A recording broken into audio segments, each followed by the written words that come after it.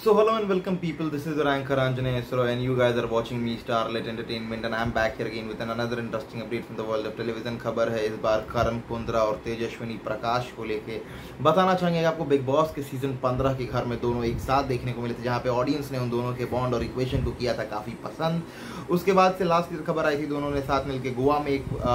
Bungalow लिया वहाँ पे फ्लैट लिया और उसके बाद ही अभी इस साल जब तेजस्विनी प्रकाश का बर्थडे था तो उसको बहुत ही ड्रीमी वे में सेलिब्रेट किया करण कुंद्रा ने और काफ़ी आइकॉनिक बर्थडे सेलिब्रेशन देखने को मिली, जिस हिसाब से अरेंजमेंट कर रखे थे करण कुंद्रा ने। जो पिक्चर्स हैं ऑलरेडी सोशल मीडिया हैंडल्स पे काफ़ी वायरल जा रहे हैं और लोग काफ़ी पसंद कर रहे हैं उनको देखना। चाहती है आपको बताना चाहेंगे, जिस हिसाब से अभी रिस्पॉन्स आ रहा है फैंस की तरफ़ से, वाकई में करण कुंद्रा ने जो जिस हिसाब से एफर्ट्स लगाए हैं, तेजस्विनी प्रकाश के बर्थडे को सेलिब्रेट करने के लिए, उनको ज़्यादा से ज़्यादा अच्छा फील कराने के लिए that's really commendable job from Karan Kundra. दूसरा साइड वैसे भी जो फैंस और उनकी ऑडियंस है, उनके बॉन्ड को हमेशा से ही पसंद करती आई हुई है। तो उनके तरफ़ से ऐसे छोटे मोटे एफर्ट्स देखना is not any big thing